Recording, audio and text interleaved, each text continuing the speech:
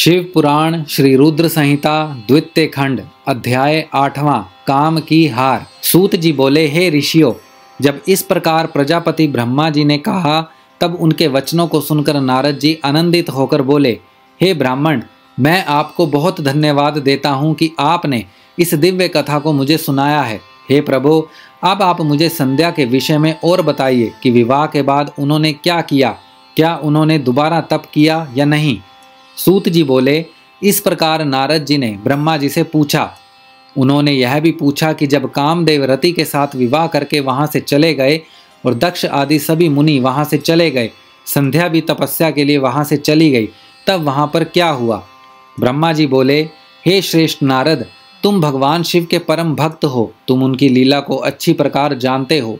पूर्व काल में जब मैं मोह में फंस गया, तब भगवान शिव ने मेरा मज़ाक उड़ाया। तब मुझे बड़ा दुख हुआ। मैं भगवान शिव से ईर्ष्या करने लगा। मैं दक्ष मुनि के यहाँ गया। देवी रति और कामदेव भी वहीं थे। मैंने उन्हें बताया कि शिव जी ने किस प्रकार मेरा मज़ाक उड़ाया था। मैंने पुत्रों से कहा कि तुम ऐसा प्रयत्न करो जिससे महादेव शिव किसी कामनीय कांति वाली स्त्री से विवाह कर लें। मैंने प्रभु शिव को मोहित करने के लिए कामदेव और रति को तैयार किया।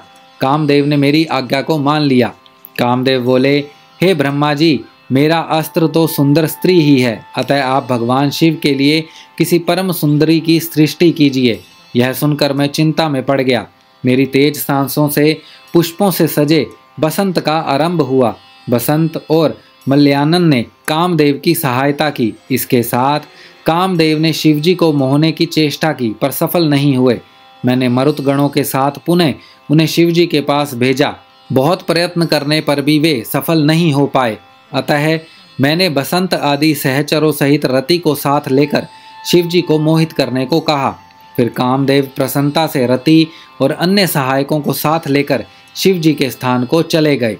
श्री रुद्र संहिता, द्वितीय खंड, अध्याय आठवां, समाप्त।